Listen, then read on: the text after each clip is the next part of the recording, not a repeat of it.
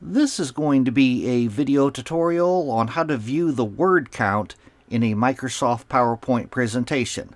Let me uh, jump over to PowerPoint here. Okay, I have PowerPoint opened up now and I just have a little example presentation here. If you want to view the word count of your entire presentation, it's very easy to do.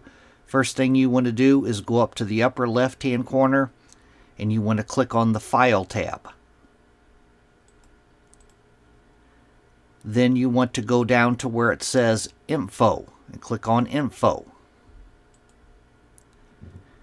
Then off to the right here, you want to go down where it says Properties. You want to go down to where it says Show All Properties and click on Show All Properties. And then under the properties here, it tells you how many slides you have. It tells you your file size. Right down here, it tells you words. This is a pretty big uh, PowerPoint presentation I have here. It has 4,632 words in this PowerPoint presentation.